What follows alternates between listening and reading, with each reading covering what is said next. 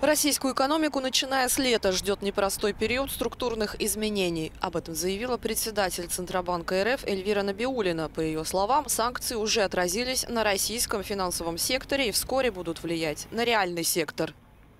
На этом фоне президент РФ Владимир Путин утверждает, что западным странам не удалось, по его словам, расшатать систему.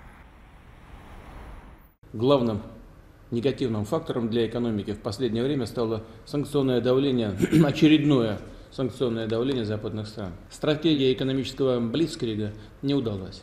Более того, санкции не прошли даром и для самих инициаторов.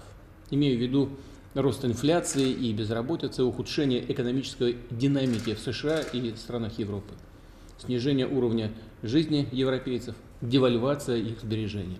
Еврокомиссия ведет работу над шестым пакетом антироссийских санкций. Меры могут затронуть Сбербанк, на долю которого приходится 37% сектора. Рассматриваются механизмы нефтяного эмбарго. Председатель Еврокомиссии Урсула фон дер Ляйен в интервью изданию «Бильд» заявила, что банкротство России является лишь делом времени, и Путин уничтожает свою собственную страну и будущее ее народа. По оценкам главы Еврокомиссии, экспорт в Россию снизился на 70%. ВВП страны сократится на 11%.